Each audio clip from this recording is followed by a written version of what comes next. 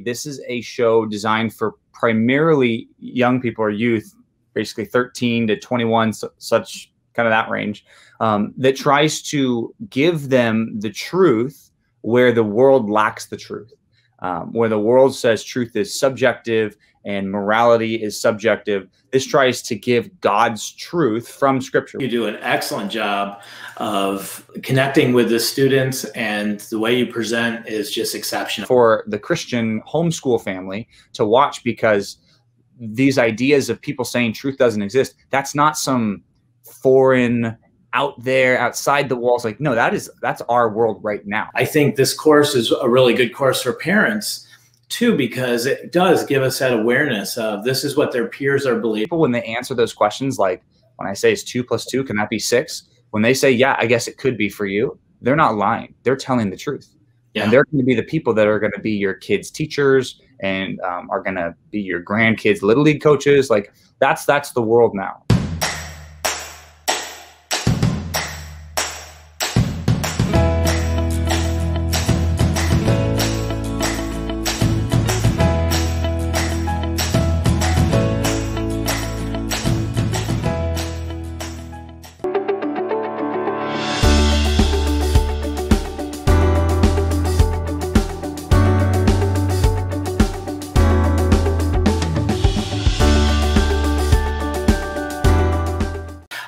Everybody. This is Randy, the Vice President of Marketing with New Leaf Publishing Group and Masterbooks, and I am here today with John Fabarez.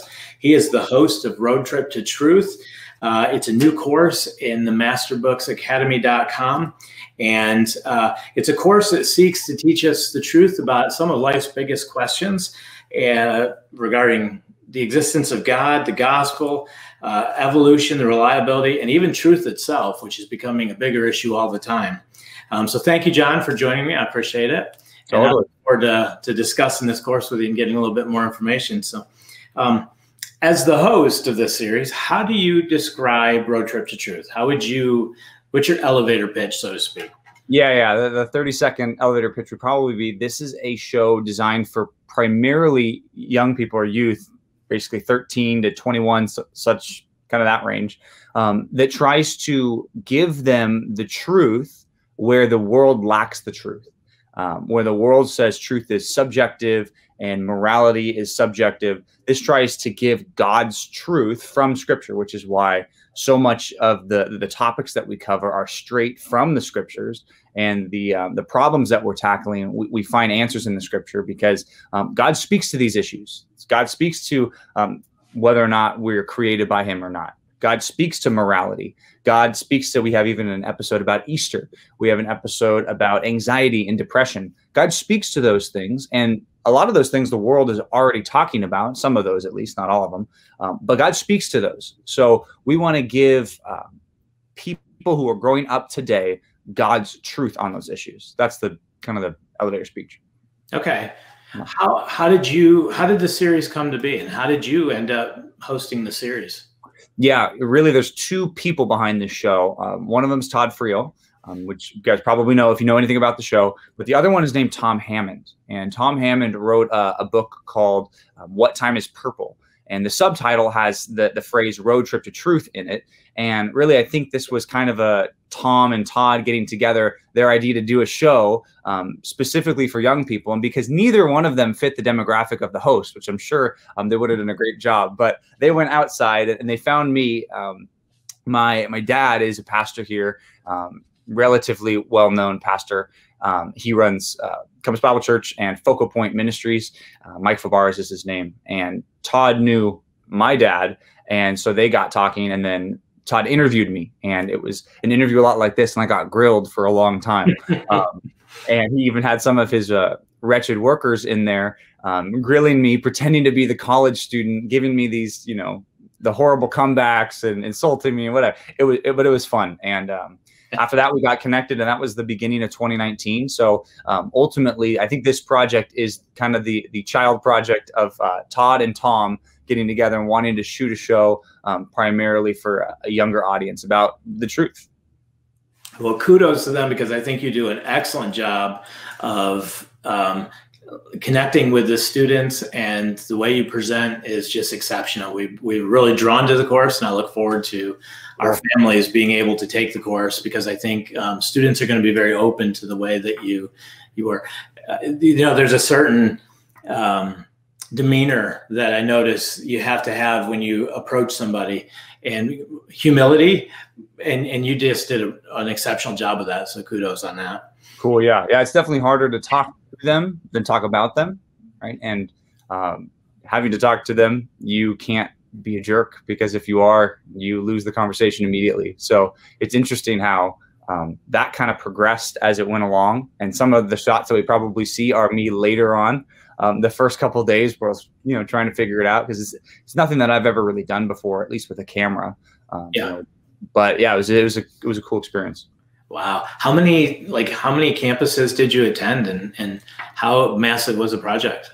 It was a big project. I, I so I live in Southern California. I work here in Orange County. Um, I'm a youth pastor myself here, um, but we no not we me just me. Um, I flew out uh, ten times to the Atlanta area over the course of about a year and a half.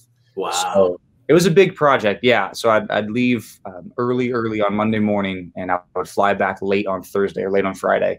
Um, so I missed a lot of weeks, but it was it was good because what we did was we shot on campus stuff and then we shot stand up stuff. So whenever I'm talking to camera, um, that was all filmed in, in, a span of a couple weeks. But me on campus, that took um, something like six weeks. So yeah. Wow. Was it different culturally? Like, was there, it was a bit of culture shock going to it, Georgia and, and oh. interviewing campuses there? A little bit. And yeah, this is something that um, I think is just really interesting. The university culture was actually more similar to my culture than the university culture was to the surrounding areas culture, um, if that makes any sense. Okay. So it sounded like I was talking in California on the campus because that's the a lot of the positions and the views that they had. That sounds like going, you know, to the to the mall here and doing street evangelism, same kinds of things. Um, but it was interesting talking to the people who you know work for Wretched. That kind of um, that, those kind of responses were more unusual for Bible Belt people, so to speak. So, but I was surprised actually how many real Christians we talked to um, when we asked them what the gospel was we had probably over the course, we talked about 200 students for season one. And I think we had about seven, eight, ten 10 maybe shared the gospel with us, which was great. I mean, a lot higher than I would have expected, a lot higher than the California campus, I think, personally. Yeah. So that was awesome. Oh, that's neat. That's neat to know. Well, how important of an issue do you feel truth is to this generation? Yeah, it's so important because, uh, like, it's a, if you think about truth as an idea, like, it's so foundational to anything else you believe because it's like the foundation. You take the foundation out, the house doesn't stand. Um, you could talk to your student about anything. You could talk to them about morality. You could talk to them about even the idea of revelation. I was just preaching on that yesterday, right? The idea of revelation that um, God speaks. Okay. So if there's no such thing as truth, God speaks, as the Bible reveals it. All that means is I think that God might have said something at some point, and this is people's best interpretation of what God might have said, right? That's a lot different than God spoke and here's what he said. And when you take out truth as a foundation, anything else you teach that is anywhere near uh, Christian doctrine, it, it, just doesn't even work. So it's, a, it's such a worldview shift. And I think um, the reason this is important and we want to solidify is because I think a lot of Christians will watch this. Um, so one of the demographics we shot for was the non-Christian. Really, we hope this to be evangelistic, that a non-Christian would watch this they would have their presuppositions and their ideas. They would have them all challenged, and maybe they'd come away um, hearing the gospel and and finding a church and getting saved and, and everything like that. But this is also for the Christian homeschool family to watch because these ideas of people saying truth doesn't exist. That's not some foreign out there outside the walls. Like no that is that's our world right now. That's your country right now. That's your state right now. That's your city. I mean that's your community. That's what they believe. Um, and you know, especially for, for families that are, are trying to train their kids up, that's why this is important. Because if they're going to get a job anywhere, it could be at McDonald's, it could be at Chick Fil A, it could be at a you know huge corporation. Wherever they go, they're going to have people that believe the um, you know we might call them crazy, but the crazy idea that truth doesn't exist. So if you want your student to grow up and be trained in the Lord, this is just one of our generational challenges that we're going to have to um, train our, our kids on. Yeah, I, well, I have nine kids. We've launched five. We have four still at home, and you know they're fairly sheltered. They grew up. I had pastored. We're in a Christian business, so they, they're fairly sheltered. But I'm always amazed at how it still culture seeps into their worldview.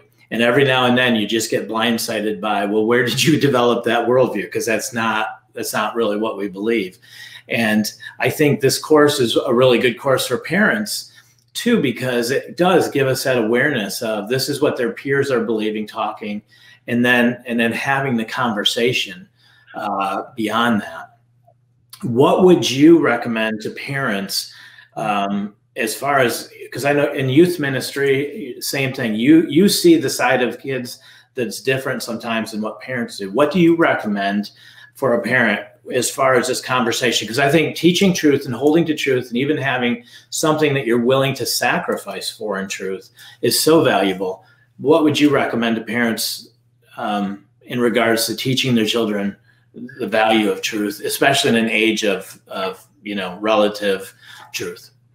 Yeah, well, the value is um, just kind of like the book of Proverbs says: if you train up a child in the way he should go, he's not going to depart from it when he gets old, right? So, um, if you shape worldview as a young person and that worldview is consistent enough for them to apply to all the areas of their life um, then they're i think they're going to keep it right especially when you add the spiritual element is if they repent of their sins and trust in christ god's holding them right they're they're, they're saved people if that happens um, but but even before they get saved even before they trust in christ for their own salvation um, you can still develop that worldview because if you think about it um, you're getting them to think through issues everyone has a worldview. Um, how come a lot of other people's worldview stands the test of time? Well, it's because maybe it fits in better with what the culture says. Well, you have the right worldview. You're, I mean, if you're tre- teaching your, your kids the Christian worldview, the biblical worldview, you have the correct worldview. So it will stand the test of time. But part of what we need to do is be more comprehensive with what we, we teach our, our students, our kids more specifically, right? I, you know, my perspective is seeing them as students. Um, your perspective as a parent is seeing them as your kids. Um, if we can cover more of the issues so they're not blindsided by things. Um, it's one of the kind of philosophies that um, my dad always had when I was young, because I went to public school for most of my life, uh, homeschooled a little bit at the beginning because my mom was a teacher, but then we were in public school basically from second grade on. Um, he would often talk to us beforehand about the things we might learn. Like I remember in first or second grade, he's always asking about evolution. I'm like, I've never heard that word before. I don't know what that is. He's like, no, no, trust me, you're gonna you're gonna hear about it, and, and this is what it's all about. This is what they're gonna say. And then sure enough, in about third or fourth grade, getting taught evolution, like I know about this. I know that you know this is wrong about it, and this isn't true, right? And I was a little, I was self conscious enough to keep my mouth shut at the time. It wasn't like going off telling the teacher, but still, it was helpful for me because I knew ahead of time what I was going to hear. And then once I started to hear it, I could pick up even before you, you, know even before it came in all of its fullness i could hear them starting to talk about in that situation you know millions and millions of years. And i could hear oh they're going to talk about evolution now. Um, so i already knew it was coming before it came. So i think that's kind of i know that's a small example but that's a helpful paradigm i think for the idea of training our, our kids. Um, let them know ahead of time. Same thing with sexual issues, especially with gen. I mean, gender now is such a young person. Like that has been brought down in curriculum so young um, mm-hmm. that I feel like you can't avoid talking about that. Um, even with young kids, at least just talking about it at an age appropriate level. Um, you know, God made you a boy, God made you a girl, um, and you're you can't be either one like that. You could teach that to a two year old, right? So that, that's age appropriate. So but just uh, preparing them for what they're going to hear ahead of time. That's the main principle. So if you think they're going to hear about sexuality issues, you think they're going to hear about truth issues, tell them that beforehand. But but I think that puts a pressure on the parent to know what's going to be said, which I think is exactly goes back to why you said I think this this curriculum is good not just for um, parents to teach their students and have the students benefit, but if you're a parent, I mean, li- listen to the videos, listen to what these students say because um, these students are um, they're real people. We did not hire any actors. I'm I am the only actor. not really an actor, but um, yeah, these people when they answer those questions, like when I say it's two plus two, can that be six? When they say yeah, I guess it could be for you. They're not lying. They're telling the truth.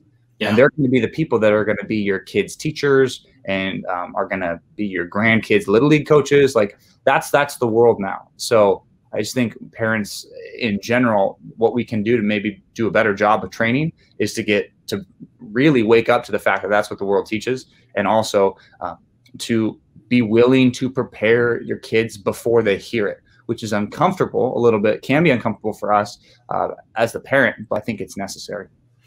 Uh, one of my favorite stories when I was a young parent that I came across was a very influential political family the father, what he would do is take newspapers, he would cut out different articles and he put it on the dinner table at night. And then everyone, you know, the children would pick it up and read it. And then from that, he would shape their worldview by addressing current situations. And um, all of the, they've been very influential in, in what they've done politically, and their worldview was all shaped right there at the at the dinner table. So yeah, cool. it's really neat. In episode 12, you talk about anxiety and depression. And um, we had mentioned a little bit about how even the tone of that episode is a little bit different. Why, why did you decide to include an episode on that in a series on truth? Yeah, well, I think the main reason is because it's a problem that is really related to truth it really is related. I know it's one step removed, perhaps, but it is related to truth because um, one of the reasons that it seems like, uh, for example, wh- why today in the non-Christian world, let's just say, let's go outside of the church, let's just go say our non-Christian culture in America. Um, why are young people, as in 13 to 21, why are they killing themselves at such a high rate? Why is suicide increased? Um, well, I think one of the reasons is because you've stepped away from God's pattern of truth. You've stepped away from God's morality. You've stepped away from God's rules. You've stepped away from, you know, even a culture that at least pleases God a little bit more. Um, you, you're stepping further and further away into sin. What happens when you step further and further away into sin? Like Romans 1 says, right? God gives you over to your sin and gives you the consequences of those sin. And I think anxiety and depression, culturally at least, is one of the the consequences of rejecting what God says. So um, it's important for truth in that way, but also we included it just because it is so common among the people that at least I, I talked to here in Southern California. I assume um, all throughout the country in youth groups, especially for girls, right? But even increasingly so now for guys too. Um, it's like heightened insecurities and um, one example we always give is they're always, you know, they've got them, they're looking in a mirror the whole time. They're always concerned about themselves. It's like, hey, how about you stop worrying about yourself? Let's look to Christ. Let's look to serving others. And cures a lot of um, the anxious feelings that we have. I know not for everybody, not all at once, but um, yeah, we just think it's important. And uh, you mentioned the difference in tone there. Um, the tone difference is mainly because when we talk about truth, even for me personally, I can, you know, teach a class or whatever, and I've got a certain tone. But if I'm talking to someone individually who's hurting, um, this is different, right? You know, the preacher voice is different than the counselor voice. You might say the same things, but you say them in a different way um, because the the context requires that. So th- this episode, the context in, in our minds as we shot it was at least this: that um, we've got people who are depressed, people on the verge of suicide who are going to watch this and if that's the case, how do they need to be approached? What do they need to hear? And um, obviously covering a lot of different topics in that episode, but that was the the main tonal difference there. Okay.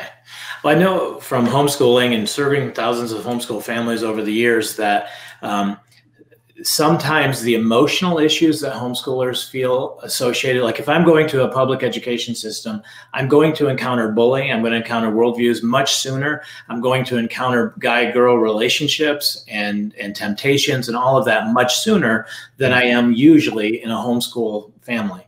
But the same emotions the same trials the same feelings eventually they have to face. And so, mm-hmm. where my kids might have faced it at 13, 14, or 15 in a public school setting, now they're facing it at 21, 22, and 23. They have a little bit more grounding. They're a little more solid. They have, you know, they're not, they don't have all the insecurities of being an early teen but I still think that it's important that there's a grasp on placing your security and hope in the right things. And um, I really appreciated that that was part of the series and the way that you did it. I thought was very personal and, and there was hope in it. So uh, cool. I thought you did a really good job with that. Well, thanks. Uh, what is there one episode that really stood out for you as being one of your favorite or part of it? Ah, it's hard. Um, I, I, I really did like the first couple that just talked about truth. Maybe it's just because I've seen them the most. Um, I see those clips posted the most. Um, yeah, I, I think that was a good intro to the series. And if you haven't watched any of it, those are kind of the important ones to watch. Um, yeah, the the the other one, I, I, hate to say this, but I'm getting some of the, the episodes confused because we actually shot season two, and um, I'm picturing some of those episodes, and I'm trying to distinguish the two. Um, but yeah, I think the the ones about hope and anxiety is super helpful. I really think that um, if your students have ever mentioned that to you before, or um, if even they talk about those problems with other people because you know sometimes your kids will bring up problems that such and such has and it's really problems they're thinking about too. Um, they just kind of hide behind their friend or whatever. Um, but yeah that's a great one to show them but the, the, truth ones at the beginning are interesting because uh, that can really give you a hunger for studying uh, what really the, the course is meant to, to, to display for students to study yeah I know that's awesome. Well, thank you. And I've been in past or in uh, in closing what was one thing that that maybe you like were surprised by or kind of that one thing that you didn't expect to encounter in the series uh, was there anything that stood out yeah a couple things stood out i don't think they were like brand new ideas but the idea that people really believe this stuff right two plus two could equal six right that's hard like if you really sit there and think about it like that's hard to wrap your mind around how how can you really think that and the the contradictory or the contradictions in people's worldview. That was amazing. And it was really cool because all you could start to do is just ask some questions. You just sort a couple of those things out real quick. Say, oh, you do think that. Okay, so everything is objective, right? What about morality? You know, murder, uh, rape, incest. All, can those things be good? Oh, well, no, those can't be good. Oh, well, why not? Oh, well, I guess I do believe some things are actually okay. Well, great um, then you can go back to saying two plus two equals four, right? We can we can agree. You're kind of just joking with, and like, yeah, I know it's really four, but like I know I'm supposed to say it could be six, um, which is the other thing. I think um, with these worldviews, it's like people, especially college students, they know that what they're supposed to believe, but then there's what they actually believe, and there's a difference there too. So for a lot of those students who who know they should be, you know, in the common terms, like woke. They should be woke about things, but they're like, oh, I don't really know if I really believe that truth, all truth is relative. Like that seems like a stretch for me. Um, those people are out there, and that opened my eyes that there's um, people who want to claim to be, um, you know, on the right side of history or whatever, um, who really have a hard time believing um, some of the falsehoods of the the no truth mentality. So that was cool. Also, just seeing um, a lot of college students want to change their mind, right? And that was surprising to me. Uh, I just thought most people would double down, and that's we always joked about it. The crew and, and me, um, everybody had a tactic. There's one of two tactics. They're either going to listen to our questions and engage with us, and they're going to change their mind, or they're going to double down. And sometimes you, if you watch the show, you see people double down and just look foolish, right? And they know it. They know two plus two is not equal six, but because they want to be consistent with what they said, they'll double down on saying the wrong thing and it makes them look foolish which you know not obviously not the intention but it is interesting to see how when some people got honest they were willing to change their mind and i think um, that as we do evangelism uh, not just in the home but also like in, in your local church you're going to have people that come in who are 20 sums 30 sums who might think like the people that you're watching in the show and um, a lot of them will be willing to change their mind if you talk to them. So um, I think that's an extra push just for everybody. Um, if you can build some relationships with the new people that wander into your church, um, that would be awesome because I think a lot of them are, are right there and they want to know the truth. And um, sometimes it will just take a good relationship with a solid Christian who can answer their questions and and uh, really lead them to Christ for salvation. So um, yes, that is one big thing that people are willing to change their mind. Yeah, I think in a culture, I know because of the ages of my kids, one thing my son has said to me um, repeatedly is, you know, you pretty much fought all of our battles. You were on the bull. You were you were defending us on the playground. You were, you know, like you made all of the decisions for us. You didn't want us to get hurt, so you you took the pain for us, type thing. But because of that, we're not really good at navigating things. So we're looking for leadership. That's why Amazon reviews are so valuable because they tell us, oh, the masses have said this is a good product, so I can trust it. Mm-hmm. Uh, and and in I, I've noticed with my kids, especially, they're just looking for strong leaders who say, this is what to believe. This is the way we're going, and I'm confident in it. And when they find somebody, um, it's it was fun in the videos. There was one gentleman in particular that you were questioning, and you were talking about um, the Nazis and and if it's okay to murder all these Jews. And and he started at one position, and you could just tell he was he was collapsing very quickly, and then he was willing to follow you basically because you know you had you had proven yourself trustworthy to follow. So I think it was it was it was all the illustrations you used were amazing. The interviews were were fun to watch, and I think families are going to get a lot out of the takeaways and um, the interviews that you do with leaders and Christian leaders, um, as well as students. There's just so much good information. This course is dripping with information. So. Well, thank you, John. I appreciate you joining me, and, and I appreciate your involvement in this course. I think um, uh, we need it, and so it's valuable. And uh, thank you for your time today. I really appreciate it. Absolutely. See you later.